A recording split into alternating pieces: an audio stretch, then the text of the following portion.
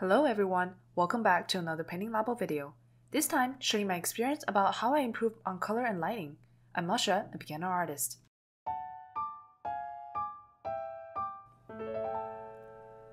There was a period of time I refused to color my drawings, because every time I tried to color, the result was worse than just line art. If you remember the 3 days challenge I did before, it was the first time I tried to color my drawing in years. It gave me a lot of confidence, so I will challenge myself again. Oh, and if you haven't watched that video yet, the link is down in the description box below. Back to today's topic. I watched many tutorial videos, asked other artists, and did a lot of reference analysis, trying to understand the concept and learn what approaches most artists use. I will share my findings in three directions contrast, shape of shade, and color choice. There are many different light settings. This time, I'm focusing on direct lighting, which means there is a strong and specific light source. Before I start, I just want to do a quick heads up. The answer I got here are based on my reference choice. It is not the absolute answer. Okay, let's start from the first section, contrast in brightness. What is this contrast exactly? After many research, I concluded this way.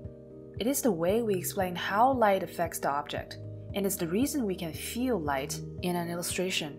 When a picture looks not that attractive or just simply doesn't look good, one reason could be that the black and white contrast or brightness contrast is incorrect or inconsistent. So, what is a good contrast?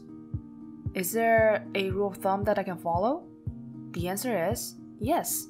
Let me show you what I found and how I found it. When learning contrast, one way is to turn the picture into black and white using a all black hue layer.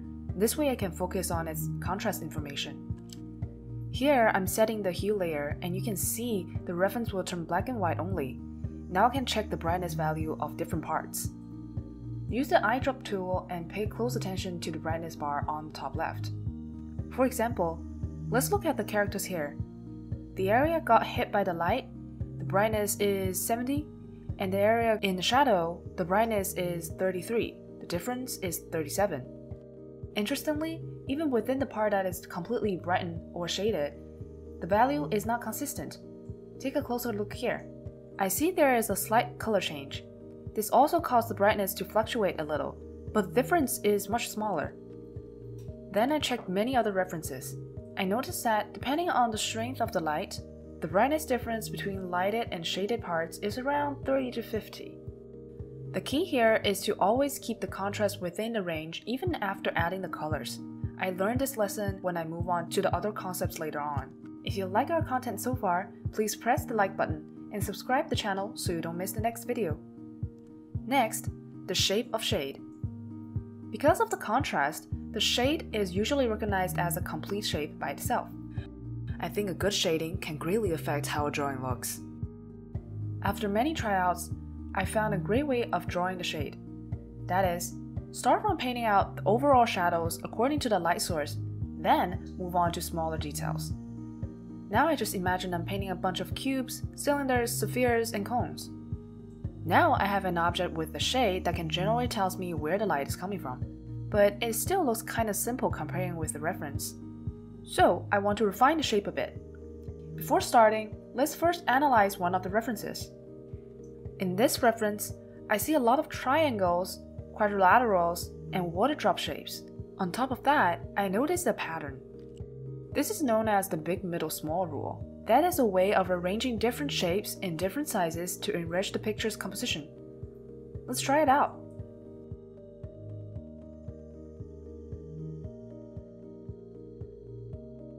This looks better, just not colored yet. Now it's time to move on to the third part, color choice.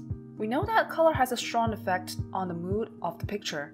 Cold color illustrations can be related to rain, ice, water, loneliness, gloom, abandoned buildings, lavatories, and warmer color illustrations, mostly hinting light, warmness, holiness, clean, pure, soft, and dreamy feelings. So I start to think about what kind of mood I want my painting to have before choosing color. I really like this painting by Rolua. Look at this lighting. It looks like the character is under a bluish white lighting. It gives a cold and outdoor feel. I also want my drawing to have this kind of vibe, but after a few attempts, I couldn't get the feeling I want. Masking my picture with a black hue layer, I saw my contrast is not like the reference. I realized that color also affect black and white contrast, and the color choice can be improved. There must be a way to choose the color I need while still keeping the contrast under control. So I tried to find out what light and shadow color Rolua may have used. Because this illustration seems to have a cold bluish light, if I ignore this light, the object's base color are probably these. On top of that, I put a multiply and an overlay layer. Now, I try to recreate the lighting using these three layers. First, I paint the shadow on multiply layer.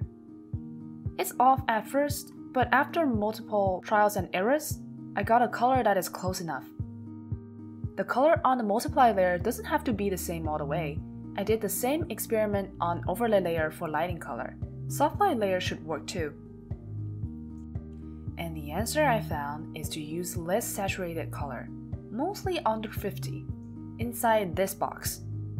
This applies to the normal layer, multiply layer, and overlay layer. If I try to use too much color out of this box, my picture gets like this. But if I apply the color choice box I got from analysis, this is what I got. Here's my color choosing strategy, which is a result based on my reference choice and personal preference. It's more complicated, so if you're interested, pause if you need to. I see many artists like to do a little color change to make the illustration look more vibrant, so I try to do that too using gradient tool and airbrushes. Oh, and I also created a lighting checklist. I'll put a link for you to download it if you want to use this when you're drawing.